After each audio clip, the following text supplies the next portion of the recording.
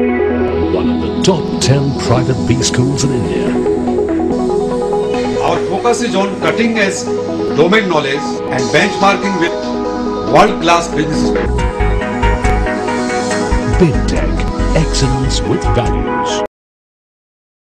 चार लाख रोज़गार चला गया तो क्या यह देश स्टूडेंट के पक्ष में कुछ भी कर रहा हो सरकार के द्वारा इस देश के अंदर क्या आप उसको सही मानेंगे अगर बजट कट किया गया हायर एजुकेशन के अंदर सत्रह प्रतिशत बजट कट किया गया। लोगों का फेलोशिप बंद कर दिया गया। क्या हम इसको स्टूडेंट के पक्ष में मानेंगे? जिस तरीके से पब्लिक फंडेड इंस्टीट्यूट को बंद कर दिया गया। और अभी अगर आपको पीएचडी करनी है तो आपके पास में पंद्रह लाख रुपया होना चाहिए। सरकार पंद्रह लाख दी नहीं है और हमारे पास पंद्रह लाख है नहीं। मतलब चाह करके भी हम पीएचडी नहीं कर सकते तो इस तरीके से जो एजुकेशन को एक कमोडिटी बना दिया गया रिचार्ज कराइए। जिसके पास जितना पैसा है, उतना एजुकेटेड हो जाइए। फ़र्स्ट ईयर का फ़ीस है तो फ़र्स्ट ईयर तक का जो है एजुकेट हो जाएगी छोटा रिचार्ज पूरा चार चार साल तक अगर आप पैसा दे सकते हैं तो चार साल में डिग्री ले लीजिए। ये जो शिक्षा को बेचा जा रहा है, हम किस तरह का मुल्क बनाना चाहते हैं? जो शिक्षा खरीदेगा, वो शिक्षा को बेचेगा भी। कल को वो अगर कहीं नौकरी करने जाएगा तो वो कहेगा कि जितना इन्वेस्टमेंट हमने किया है एजुकेशन में, उतना हमको रिटर्न बैक चाहिए।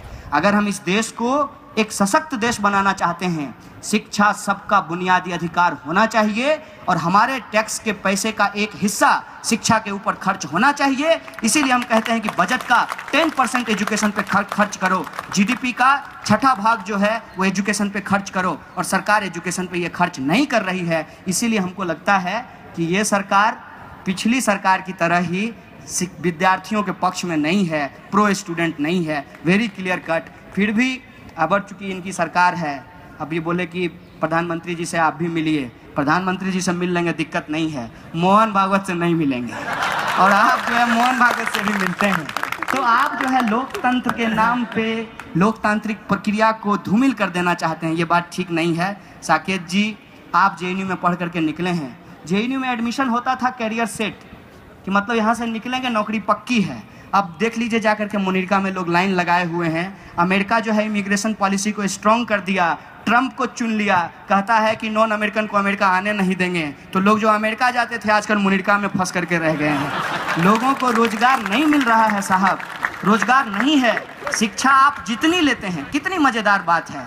हम कहते हैं कि हम जितना ही पढ़ें, हम दसवीं पास हैं। हमको दसवीं के हिसाब से ही नौकरी दीजिए। अगर हम पीएचडी पास हैं तो हमको पीएचडी के हिसाब से नौकरी दीजिए। पीएचडी कर करके हम चपरासी बनने के लिए जाएँ, बताइए अच्छी बात है?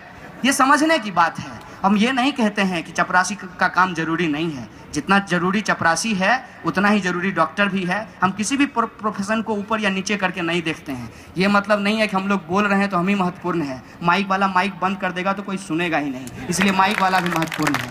तो हम ये देखते हैं कि इस देश के अंदर जब आप एजुकेशन पॉलिसी को एनालाइज करेंगे तो स्टूडेंट जो पढ़ रहे हैं, बहुत ही बुरे हालात में हैं।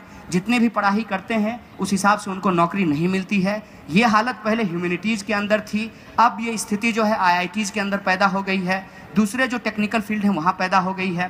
पहले आत्महत्याएँ वो लोग करते थे, जो बेचारे इतिहास ऑनर्स करके किसी तरह से ज़िंदगी चलाते थे। अब मैं आपको बता देता हूँ कि आईआईटी करने वाले लोग भी, जो कॉरपोरेट में पढ़ रहे हैं, जो रिसेशन आएगा नोटबंदी के बाद, देखिएगा वहाँ भी आत्महत्याएँ शुरू हो जाएगी। ये सरकार, इस सरकार की पॉलिसी दूसरे सरकार की तरह ही प्रो स्टूडेंट नहीं है, और डिस्क्लेमर के साथ बोले हैं, ये मत कहिएगा कि आपका काम ही है विरोध करना। अब मैं साकेत से गुजारिश करूँगा कि जल्दी आ, अपना